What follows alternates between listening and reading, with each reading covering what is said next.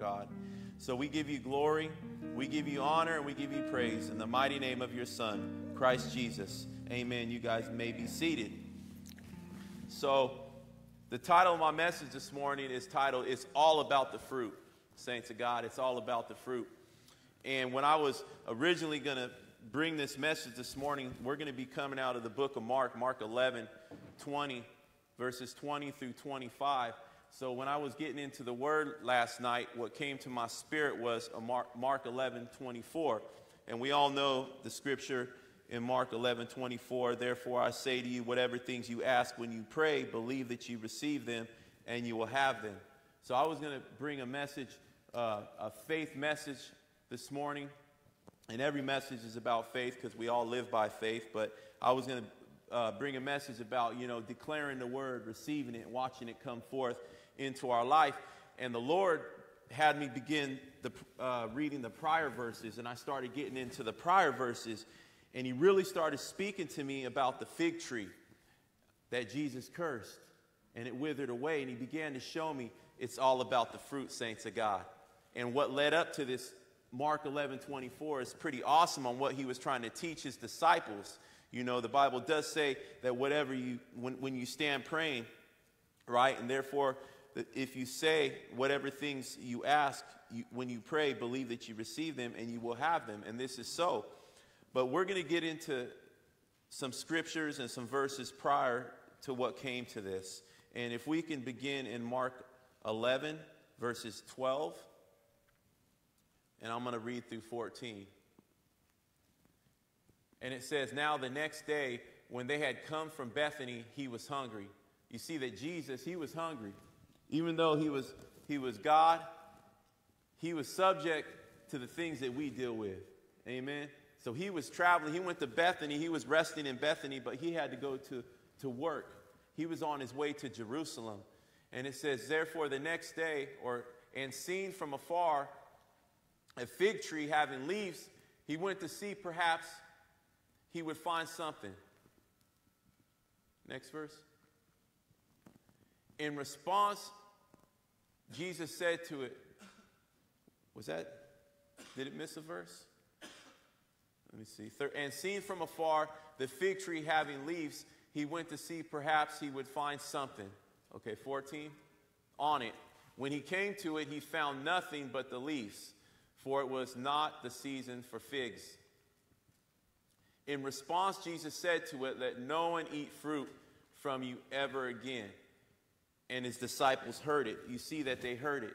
So he seen this tree from afar off, and Jesus was hungry. He was coming. He seen this tree, and it, and it looked like it had fruit on it because of the appearance. It had a lot of green leaves. It had a lot of things on it. But as he got closer, and as he got to inspect it, he saw that there was no fruit from this tree. And it disappointed him. And we see the result that Jesus cursed the fig tree. Jesus cursed the fig tree. From a distance, the tree appeared to have fruit because of all the leaves that were seen from afar. When they had gotten closer, Jesus saw that there was no fruit on this tree. This tree was deceitful. We can say that things are not always as they appear. Things that we see are not always of what they look like. A lot of time in people's lives, things aren't always what they appear to be. Just because someone knows what to say all the time, has nice cars, a good job, a beautiful home, and always smiling doesn't mean that life is necessarily good. It's the fruit that needs to be inspected, not the appearance. The word teaches us that a good tree can't bear bad fruit in Luke 6:43. Jesus cursed this tree with barrenness, which is the opposite of the first blessing that we see in Genesis 1:27 and 28. And can we go to Genesis 1:27 and 28? And this is one of the first blessings. God, God's created man in his own image. In the image of God, he created him. Male and female, he created them. Then God blessed them. And when he blessed them, he said to them, Be fruitful and multiply and fill the earth and subdue it. Have dominion over the fish of the sea, over the birds of the air, and over every living thing that moves on the earth. So we see that God wants us to be fruitful. He says it's all about the fruit, right? Be fruitful in our lives, to produce fruit, right? So this is God's will for our life. The opposite of blessing is, is the curse, and the, and the opposite of barrenness is fruitfulness. God's blessing always brings life and fruitfulness and multiplication in our life. So when we're when the blessing of God always brings fruitfulness, it always brings growth in our life. Things are always always going, just like a, a beautiful tree. We see we see fruit, and to me, when I think about fruit, I think of all different types of fruit, right? You can go to the store and it could be a hit or miss, right? You could buy a box of apples, and those apples might look so beautiful, they might look so scrumptious and shiny, and you bring those apples home and you bite into them and they have no flavor. How many of you ever got fruit with no flavor? It had no flavor at all. And then you got that fruit that looks beautiful on the outside, and then when you bite into it, it's rotten, right? And then you got that fruit, right? So it looks good on the outside, but it's rotten on the inside. But and then you got that fruit that's good, right? You open it up, it tastes how it looks. It's it's desirable. It's it's scrumptious, you know, and, and, it, and it's beautiful. But when I see this story about the fig tree, I see something not doing what it was created to do. And that's what Jesus saw. Jesus saw this tree and knew it was created to bring something forth good. It was meant to feed people. And Jesus saw this tree, it was not doing what it was created to do. And it displeased Jesus. He didn't see the fruit that he knew that it had the potential to have on it. Amen? So, God's blessing always brings life, fruitfulness, and multiplication. Fruitfulness always produces healthy growth. We think of trees, right? They produce and they multiply. When you plant an apple tree, we know that you get multiple apples. You don't get one apple, it, it's multiplication because of the life in that tree, because of the nourishment in that tree. It grows, saints of God, and it nourishes. So that roots from that tree bring nour- nourishment to the tree and out to the branches, and the branches feed the fruit, saints of God. It's a beautiful thing. Psalm 65:10 in the New Living Translation says, You drench the plowed ground with rain, melting the clods and leveling the ridges. You soften the earth with, so, with showers and bless its abundance, crop, abundance crops. Another translation says, and blesses its growth. The Lord blesses our growth. He blesses the growth in our life. When we abide in Jesus, when we, when we, when we uh, abide in the Word of God, there's a growth that comes forth from us, saints of God.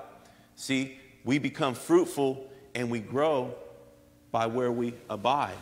Amen. And where we're planted, right? Those who are planted in the house of the Lord shall flourish in his courts, the word of God says. We need to be planted in the house of the Lord where the word is going forth, where we're being fed the word, but not only to be fed at church on Wednesdays and Sundays, but also through our daily lives. Amen. Continually feeding ourselves with the Word of God, continually growing and bringing forth fruit, right? To bring God glory in our life. We can't just water a tree maybe once a month or twice a month. No, that tree needs nourishment, right? That tree needs sun. When you go to the store and you buy a tree, see, I made a mistake and I, and I shared this story before. I went and I bought a bunch of these beautiful trees. I went to, um, I went to Home Depot and I got all these plants I liked. They look nice. And I went home. I spent all Saturday. I dug about maybe six or seven holes with the shovel. Was out there, got the planting soil, and I potted, you know, and I put them all in the ground. And, and man, they look nice. They look beautiful. And my neighbor, he's a landscaper, and he does side jobs on the weekend. And, and I was out there working, sweating, on my knees, digging out stuff. And I was like down to the last plant and I was just covering it up. And he drives up in his work truck and he looks at me and he's looking at me. And I said, okay, I'm waving, he's waving. So he gets out of his truck and, you know, he takes a couple tools out, puts them on his side yard, and he walks over to my house. And I'm out there toiling, man. And he says, he says, those are some nice plants you got. And I said, thank you. He said, man, I hate to tell you this. He said, those aren't going to live. I said, What are you talking about? He says, Those are indoor plants. He says, There's too much sun out here. He says, Those aren't going to thrive. He says, Those need to be in the shade, somewhere where the shade is, right? So I was like, You got to be kidding me. So I had to dig up all those plants, put them back. Praise God, Home Depot has, has a return policy, right? I didn't tell them what I did, but I want to tell you, we got to know what we're doing, saints of God. we got to know the word that we're speaking in our life, you know? Because I had good intentions. It looked good to me, but I was out there laboring for nothing, saints of God. See, we don't have to, a lot of times we don't have to be laboring as much as we're laboring, saints of God. You know, and, and that was a good lesson for me that I learned out of that. I mean, I'll, I'll check the label next time, right? But God is seeking fruit. You know, He's seeking fruit in our lives. He, he loves to see good fruit in our lives. It pleases Him to see good fruit in our lives and us prospering and growing and thriving in the kingdom. You know, not just in our ministry, God wants us to thrive everywhere. Think of healthy life, healthy trees, healthy growth. As believers, this is how God desires us to be continually fruitful, continually growing. You know, and as we produce fruit, we'll see later in the Word of God, God will prune us so he can, he can make room for more fruit in our life. More fruit, more growth in our life. How many of you want to see some growth in your life? Amen. Amen. But when we produce fruit that doesn't glorify the Father, fruit that, that's rotten in our life, see, we take up room for the fruit that can actually be there, saints of God. See that fruit, God, God didn't say that He takes away the rotten fruit. He says, no, when we produce fruit, He prunes us so we can produce more fruit. But when that rotten fruit is in our life, it's preventing that good fruit to grow in our life that should be there. See, we're not actually growing and living the life that we were intended to live, kind of like that fig tree wasn't living the life it was intended to live. It was, it was there to produce fruit, but it wasn't producing fruit in its life, saints of God. So we see that God, um, we saw Psalm 65 10. It gave us a beautiful picture how God rains down, right? On the, he melts the clods. You could picture those hard clods. You know, out in Brentwood where I live, the dirt gets very hard, and you have to water that dirt and soften that dirt, and that's what God does, right? He softens the hard places in our hearts. He softens the things in our, our heart that or in our life that may be calloused over, and he he enables us to receive the implanted Word of God into our lives that we may bear fruit in our lives. And He blesses that growth in our life as well. The blessing of God in our lives causes fruitfulness and growth. When Jesus cursed the fig tree and said, Let no one eat fruit from you ever again, the tree didn't just stop producing fruit, it was utterly cursed and withered away at its root. Jesus was going to make sure that that tree would never deceive another person into thinking that it had something it really didn't. Saints of God. And uh, it's, it's, it's all about the fruit, saints. And I had, a, I had something on my mind that I was was gonna say, but it just slipped me. but It'll come back. It says Jesus Jesus' response to a fruitless tree is that it wasn't going to bring forth fruit. And I, and I know that Jesus knew that tree probably hadn't produced fruit in a while. You know, easily Jesus, when he was on the way, Jesus could have actually said, Tree, produce fruit in Jesus' name. Right? So when he came back, it would actually have fruit for him to eat. So he could have done that either way. He could have he could have said, Tree, I command you to grow fruit. That next time he grew, he would see fruit. But he did the opposite. He cursed it and said, No one's going to ever eat from you again saints of God. And that tree hadn't produced fruit probably in a long time, you know? And that's like, God wants us to produce fruit in our life, saints. We can't, we can't be stagnant in our life. You know, God has given us all kinds of gifts, skills, and talents. And He's just saying, step out. Step out in faith and use that gift that I gave you, even if it's one gift. Bless God with that one gift. Say, God, I have this one gift. It might not seem much to you, but honor God with it. Bless God with it. Amen. Utilize it. And before you know it, you're going to see all types of other gifts in your life. Amen. Things that you didn't have before. You're going to say, Bless God, where did I get all this stuff from? God is saying, Because you were a faithful steward over the thing that I gave you, that one thing that I gave you. You know, and a lot of times we have stuff inside of us. How many of you know that um, the Israelites, right? It took longer for God, it took longer for the Israelites to get Egypt out of them than it took for God to get them out of Egypt. See, God delivered the Israelites out of Egypt like quick. It didn't take that long. But how long did it take for Egypt to get out of the Israelites? 40 years they murmured and complained all through the wilderness. You know, not having faith, not believing God. And a lot of times we get in a situation and we say, God, why are we going through this? Why are we why do we have to deal with this? Remove this thing, remove this thing.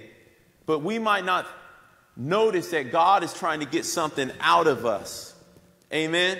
We might be in a situation and saying, God, get me out of this situation, but God is trying to get something out of us that He doesn't want there. That's, that's uh, not helping us produce the fruit that He wants us to produce in our life, saints of God. So that's why the Bible also says to examine ourselves, to make sure that we're in the faith, right? To look at ourselves, saying, God, am I producing the fruit that you call me to produce? Amen. Can I add some things to my life that help me produce more fruit? Amen. And the answer is yes. More of Jesus always brings forth more fruit, saints of God. See, we can do nothing of ourselves. See, we can't try to go and do all this other stuff, stuff and try to do it by works and trust in our works, trust in our good deeds, trust in everything that we're doing. No, we abide in Christ. And when we abide in Christ and in His Word, that's when the fruit starts coming forth in our life, saints. We need to trust in Him and not on ourselves and not to rely on ourselves because this isn't a message of, uh, of doing good works. This is a message of relying on Jesus so we can bear the fruit that Jesus wants us to produce in our life. We can do nothing of ourselves, saints. Nothing. And the moment that we get out of the flesh, out, out of the spirit and into the flesh and think that we could do things on our own is when we begin to get in trouble. We need to completely trust and rely on Jesus in every situation, in every area of our life, and give him glory for everything that we have, right? For our jobs, for our families, for the blessings that he's given us. He gets all the glory. Amen. He gets all the glory. Amen. He gets the glory for the fruit in our lives. And I'll get to something. Hold on. I'll get ahead of myself. Myself. So we see that it is so it's the will of God. Let's look at so let me see here. I got a little ahead. So the blessing of God in our lives causes fruitfulness and growth. So this we saw Jesus' response to the fruitless tree, right? It got withered away. And basically, what are we good for if we are not bearing fruit for the kingdom of God? You know, what, what, are, what are our desires as a Christian? You know, our desire and our goal should be to bear fruit for the kingdom, to please our, to please our Father. Amen? So it is. Let's look at Matthew 5:13. In Matthew 5:13, the word of God refers to us as the salt of the earth. Right? And it says, "You are the salt of the earth, but if the salt loses its flavor, how shall it be seasoned? Is it uh, it is then good for nothing but to be thrown out and trampled underfoot by men." So God calls us the salt of the earth. So he wants us to continue having flavor. He wants us to continually bear fruit in our lives. Just like that tree Jesus saw, he said, Well, this tree ain't bearing no fruit. What is it good for? If it's not, if it's not doing what it was intended to do, if it wasn't doing what it was created to do, saints of God. We are created to bear fruit. We are created to be the salt of the earth, to be the light to those out there who are lost. Amen. Wherever we may go, however that looks like for God's plan in your life, right? God, you know how God wants you to shine. You know when God wants you to shine. You know when God tells you to go forth and, and to do what he tells you to do. Amen? And that's how we remain uh, seasons in our life, remaining obedient to the word of God, trusting him, remaining in his word. Amen? I want to be fruitful, saints of God, and I know you guys do too. So it is the will of God for his children to be fruitful. Let's look at Isaiah 27, verses 2 through 6 in the New Living Translation.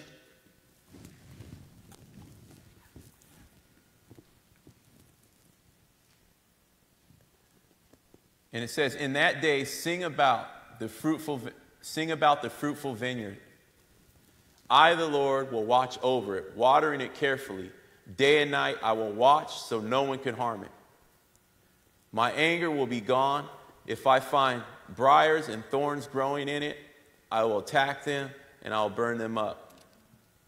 Unless they turn to me for help, let them make peace with me. Yes, let them make peace with me.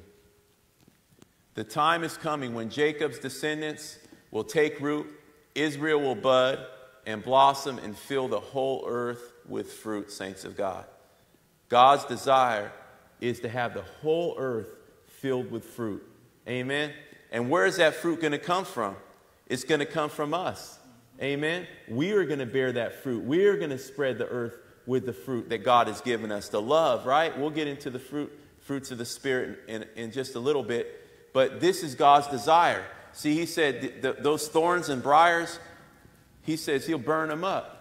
Why? They do not produce fruit. They're not producing any fruit at all. So God desires to see fruit in our lives. So the fruit of the righteous is a tree of life, and he who wins souls is wise. Proverbs 11:30 tells us. The fruit of the righteous is a tree of life. See, the tree is living. A dead tree cannot produce fruit, saints of God. A dead tree cannot produce fruit. And we see that it also multiplies because uh, of the fruit of the righteous shall win souls, saints of God. And souls is multiplication into the kingdom. It adds to the kingdom, it multiplies. And that's what God wants to see. He wishes for none to perish, but all come to repentance into the saving knowledge of God's truth, to continually grow, right? God's kingdom is always growing, always thriving, and always fruitful, saints of God. You, you have to live a life that produces righteous fruit, saints of God. John 15, verses 1 through 5.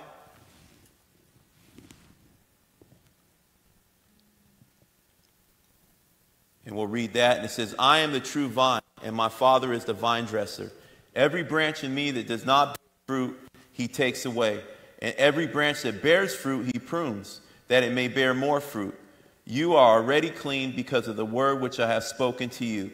Listen here, he says, Abide in me, and I in you. As a branch cannot bear fruit of itself unless it abides in the vine. He says, Neither can you unless you abide in me.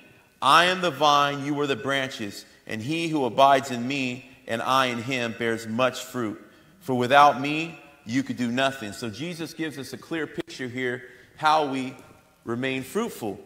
We abide in him. If a believer is not bearing fruit, it's because they're not abiding in Jesus. Jesus clearly says that he who abides in me and I in him bears much fruit. So the remedy for not, not seeing fruit in our life and living a fruitful life is to become closer to Jesus, right? To get into the Word of God, abide in the Word of God. And this is where it, it, it gets good because Jesus is starting to say, okay, you got to abide in me, you got to abide in the Word. See, he took his disciples on a journey and he showed them a tree, right? He showed them a tree that was supposed to be bearing fruit, but it was not bearing fruit. So he gave them an example before he actually got into Luke 11 24, before he got to say, okay, whatever you say will come to pass, okay? If you say it will obey. And that's, I, I taught a little message on that. If you say it will obey. If you speak to the tree, it'll obey you. Jesus said, if you speak to this mountain, do not doubt in your heart and tell it to be removed, it'll be removed, saints of God. But he wanted to show them something. Because you know what? It's hard to call things forth, call those things that are not as though they are when you don't have a clear conscience towards God. Amen. When you're not walking in the calling that you know you're supposed to be walking in. When you're walking in willful disobedience, it's hard to have faith to call those things that you know that you can call forth that are yours, saints of God. So God says, okay, let's get right, bear the fruit, abide in me, trust in me, and not in yourself, and then let's move forward to calling these things forth in your life. See, it's, it's not about works, but it's about a condition and a position that we're in in Christ. See, to have boldness in Christ, you have to know who you are. And in order to know who you are, you have to know whose you are. Amen. And if you know whose you are, you're going to abide in the word and you're going to obey your father. See, if your father tells you to do something, you're going to be obedient and do it because you love him, because you don't want to disappoint him, right? And your father blesses you because you're his son. Amen. Not because of any conditions. It's like when Jesus called forth, when Jesus came out of the water and he says, This is my beloved son in whom I am well pleased. You notice that when, when God did that, he said it so everybody can hear it. But he also said it before any miracles had ever taken place in the, in the ministry of Jesus. See, he said, I am well pleased with you, my son, before you rose the dead, before you turn the water into wine. He says, I am well pleased because you are my child. Not because of what you do, but because of who you are. You are my son. You are my heir, saints of God. You have to know that you are a child of God, that you are heir of God, right? This is who God calls us to be, saints of God. Believers to come forth into the kingdom and to produce great fruit for the kingdom of God. Produce fruit in our homes, through our children, through our marriages, in our ministries. Amen. Fruitfulness brings growth. The life of Christ in our life brings forth fruit saints of God. It's the will of God for us all to bear fruit in our lives, that it's evident for all to see, saints of God. See, I said earlier, a lot of people look like and play the part that they are fruitful, but when you inspect things, the fruit just isn't there. We have to have the fruit, saints of God, in our life.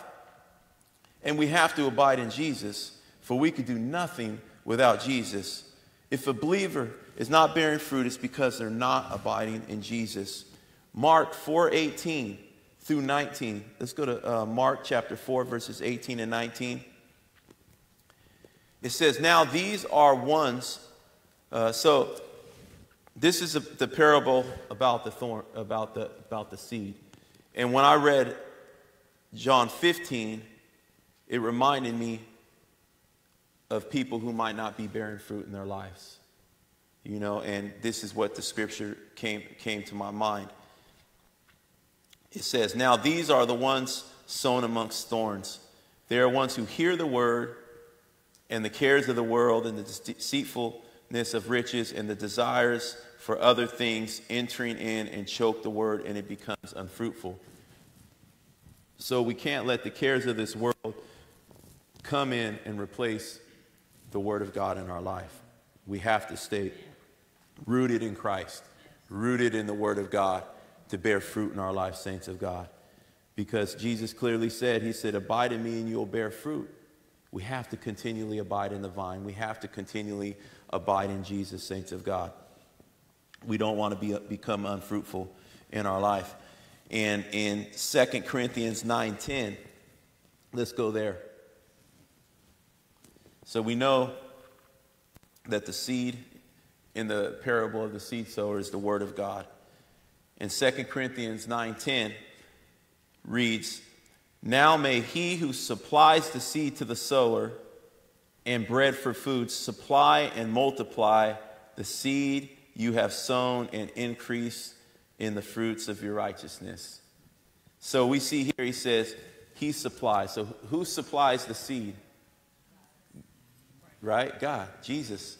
He supplies the seed. And what's the seed? The Word of God.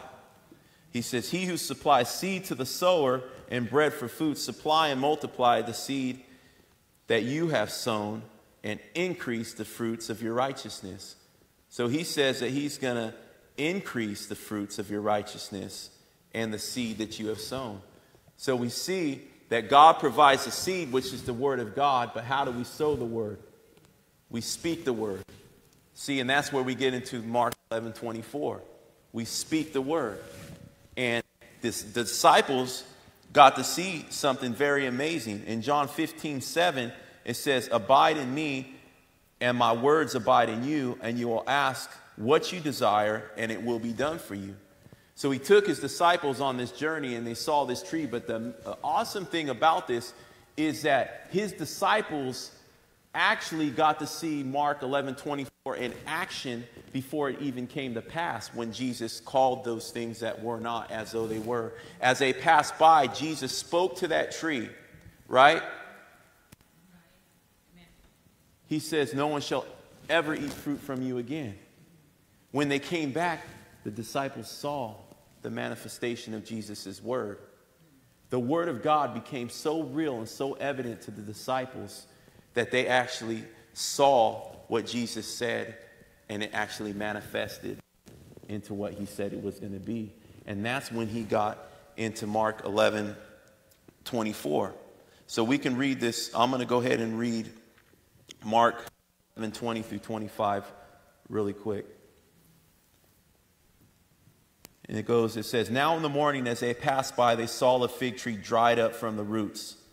And Peter, remembering, and said to him, Rabbi, look, the fig tree which you cursed has withered away.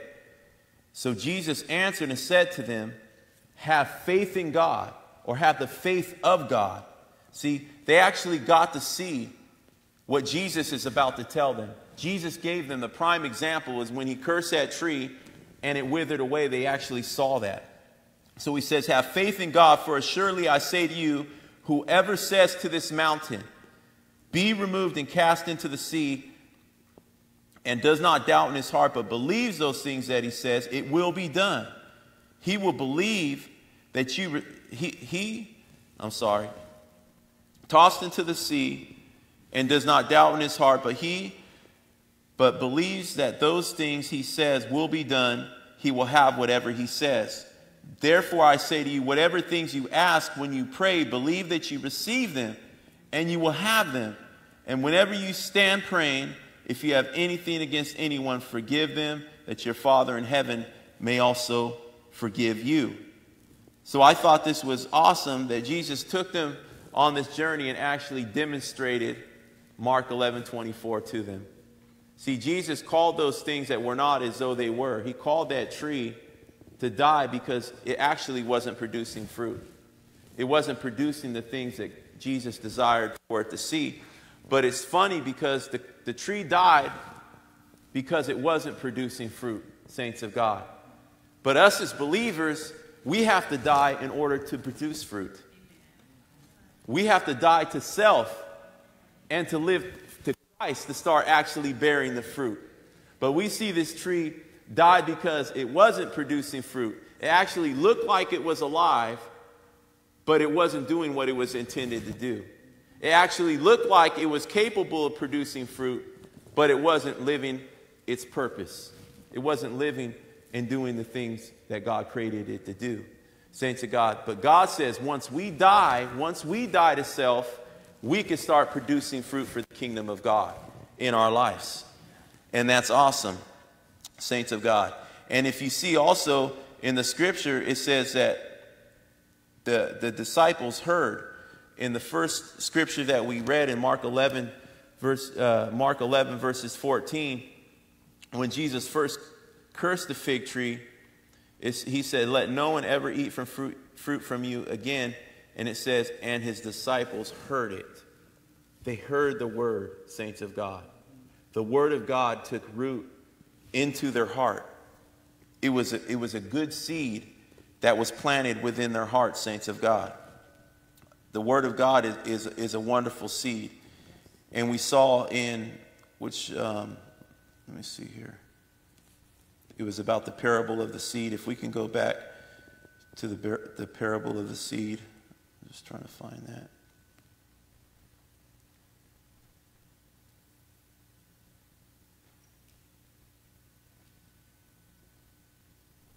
Mark chapter 4, believe it's uh, verse 20. So the disciples, they heard it. So it says here, but these are the ones sown on good ground, those who hear the word of God, saints of God. They heard the word. When that word was planted in their hearts, when the word of Jesus went forth from them, they heard it.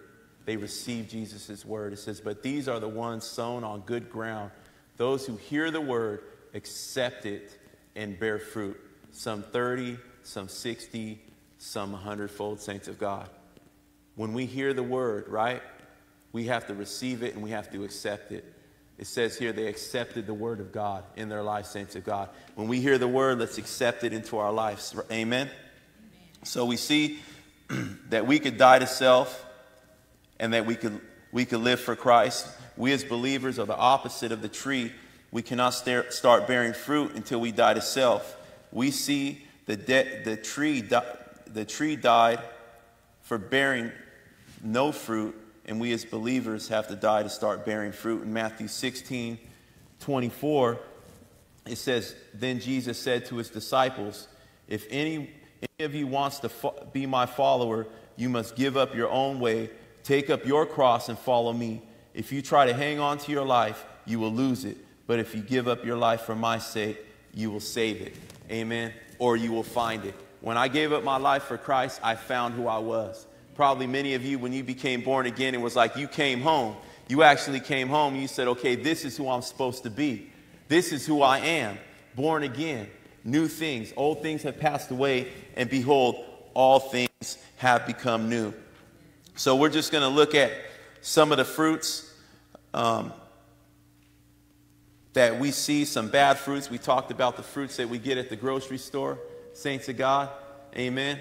And the other fruit in our life. In Galatians 5, I'm going to read through verses 19 through 26. And it talks about the works of the flesh, and then it gets into the, into the fruit of the Spirit.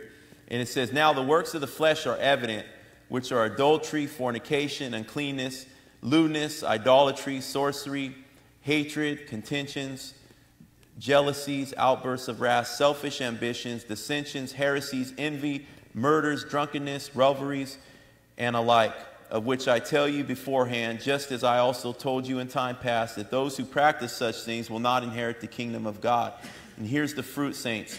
But the fruit of the Spirit is love, joy, peace, long suffering, kindness, goodness, faithfulness, gentleness, self control. Against such there is no law. And those who are Christ have crucified the flesh with its passions and desires. If we live in the Spirit, let us also walk in the Spirit. Let us not become conceited, provoking one another, envying one another, saints of God. Amen. So Jesus shows us in Mark 11, Mark 11, 23, that for surely I say to you, whoever says to this mountain to be removed. Saints of God, I want to encourage you you know, that anything that we may have in our life that isn't bringing God glory, we can get rid of those things. We abide in the Word of God, we abide in Christ, amen, and bear fruit for the kingdom of God. And how do we do that? We saw that the seed, right, was the Word of God, and we could sow the Word by speaking in our life. So we speak forth the Word of God. Declare the Word of God. Declare the promises of God over your life. You want to see fruit in, in your life? Start declaring. Amen. Start declaring. Say, Thank you, God that I have the fruit of the Spirit, that I have love, that I have joy, peace, long suffering, kindness, goodness, fruitfulness, gentleness, self control. Start declaring these things in your life. Start believing the Word of God and walking them out in your life and watch the fruit of God start manifesting in your life and growing like you've never seen it before. Abide in Jesus, abide in His Word because that's where you will find life and that's where you will find growth, saints of God. Amen. Let's give God praise. Hallelujah. Well, thank you for, for coming to 8 o'clock service this morning. You guys stick around for 10 o'clock service. Minister Val will be bringing us a word. Um, you guys can go hang out, go get you some, some uh, what, Zoom Zooms and Wham Whams. and if you guys can't stick around, you guys have a wonderful and blessed week.